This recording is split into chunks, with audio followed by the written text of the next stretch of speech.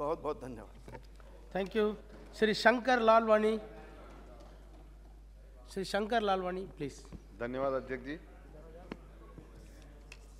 माननीय कानून मंत्री ने जे- जो ये बिल रखा है मैं उसके समर्थन में बोलने के लिए खड़ा हुआ हूँ। कुटुंब न्यायालय अधिनियम उन्नीस सौ चौरासी विवाह तथा कुटुंब मामलों के विवाद और उससे जुड़े हुए मामलों में सुलह को बढ़ाना और शीघ्र निपटारा करने के लिए कुटुंब न्यायालय की स्थापना की गई थी। ये बात सही है कि वर्तमान का जो समाज का ताना बाना है, उस पर कुटुंब विवाद लगातार बढ़ रहे हैं। वैसे तो बहुत सारे प्रकरणों में सुलह और काउंसलिंग हो रही है, पर फिर भी जो ये बिल आया है, वो हिमाचल और नागालैंड के जो नोटिफिकेशन को लेके आया है।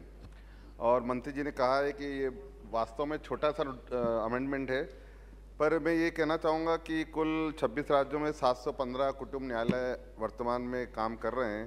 पर यह बात भी सही है कि ग्यारह लाख छिहत्तर हज़ार से ज़्यादा प्रकरण कुटुंब न्यायालय में लंबित हैं और चौदह वित्त आयोग में 541 करोड़ रुपए का प्रावधान किया गया था 235 कुटुंब न्यायालय बनाने के लिए।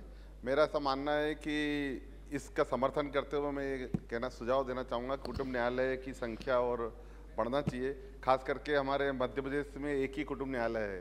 तो मध्य प्रदेश बड़ा राज्य है साढ़े सात सौ करोड़ की जनता है और जिस प्रकार प्रकरण बढ़ रहे हैं मेरा ऐसा मानना है कि मध्य प्रदेश में कुटुंब न्यायालय की संख्या बढ़ना चाहिए और जिन जिन राज्यों में कुटुंब न्यायालय कम है वहाँ भी इसकी संख्या बढ़ना चाहिए। मैं इस बिल का समर्थन करता हूँ। धन्यवाद।